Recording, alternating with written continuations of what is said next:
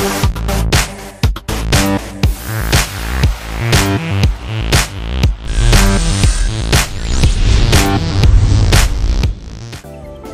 విడద ఇండస్ట్రీని కుదిపేస్తోంది. రీసెంట్గా రిలీజ్ అయిన అరవింద సమేత వీరరాఘవ సినిమా షూటింగ్ సమయంలో లీకులు వెన్నాడాయి. మొదట సినిమాకు సంబంధించిన యాక్షన్ చిత్రాలు బయటకు రాగా రిలీజ్కి ముందు ఓ యాక్షన్ సీన్ మొత్తం లీక్ అవడం సంచలనం రేపింది.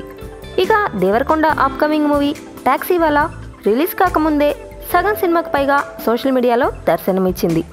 ఇప్పుడు ఈ లీకుల బెడద mega power star Ram Charan కొత్త సినిమా కూడా పట్టుకుంది.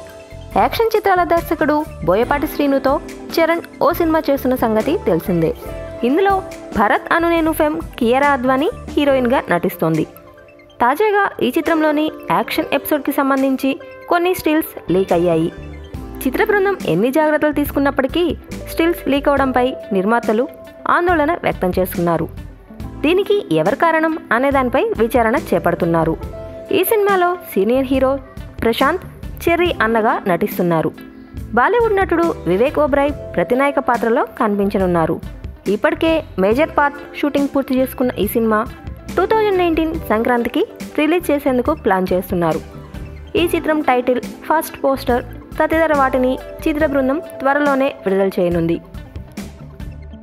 For interesting more updates please subscribe our channel